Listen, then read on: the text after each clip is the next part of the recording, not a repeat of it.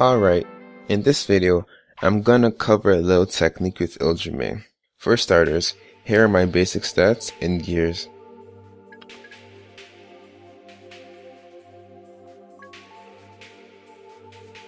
Here is my running speed and jump speed. It's pretty fast.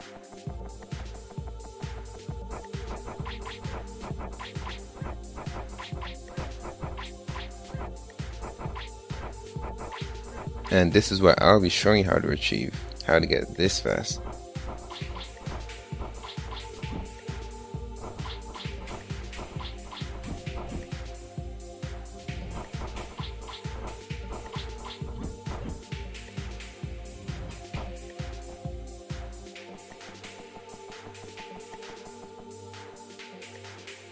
So generally, when the Iljimea is on the attack, it will jump or double jump and then attack and then plant a flower and then repeat to try to get from A to B.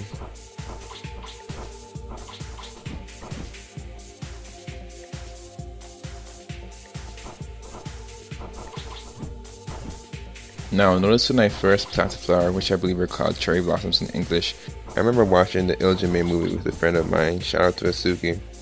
I'm gonna say flowers just for short. As you see, when planting the flower before attacking, I move noticeably faster in the air. I believe speed stacks by some multiple based off your current base speed, which leads me to something important I should point out. Buying a new Iljimea with zero speed won't be able to do this technique. Trust me, I tried. You need a substantial amount of speed for this to be noticeable and effective.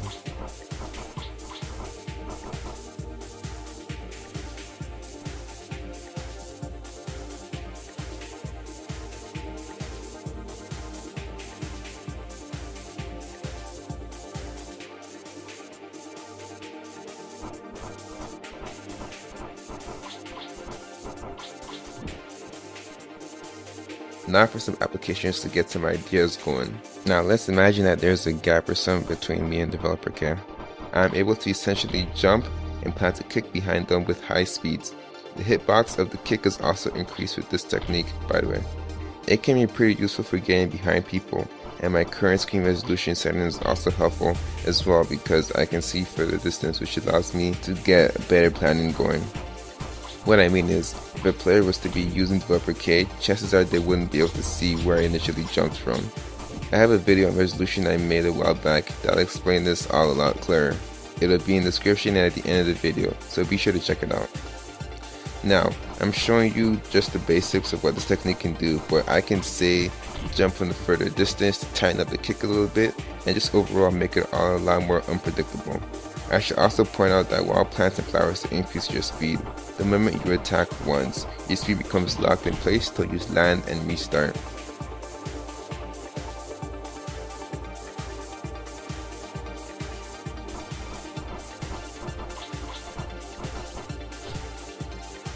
So yeah, you can basically to any hero with a good air attack while arcane armor is on and essentially increase its range.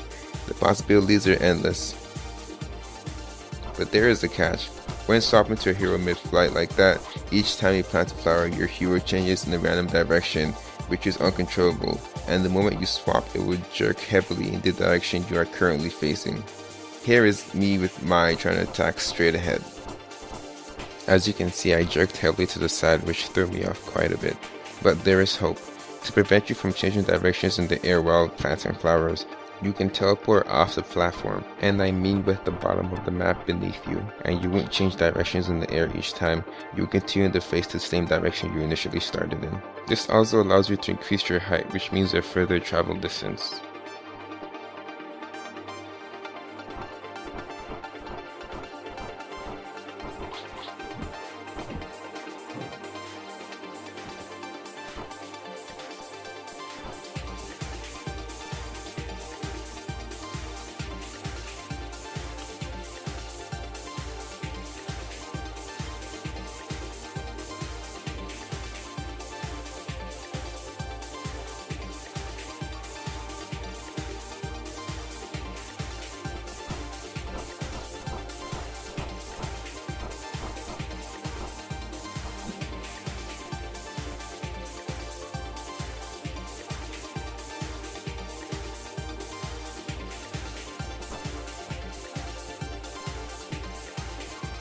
One of my favorite things to do is swap through here with the wings because you can just glide like no tomorrow.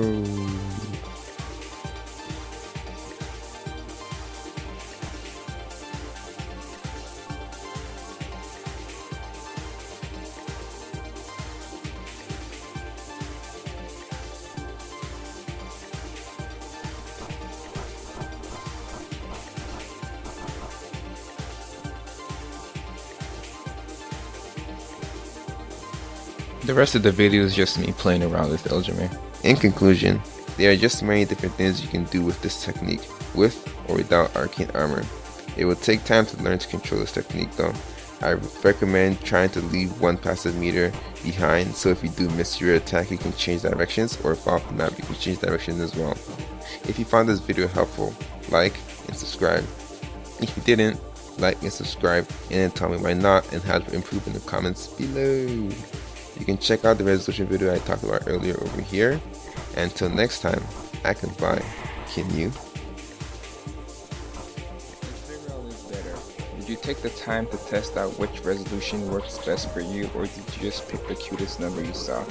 In this video, I'll cover some details about resolution and talk about my personal opinion on what works best in Lost Saga.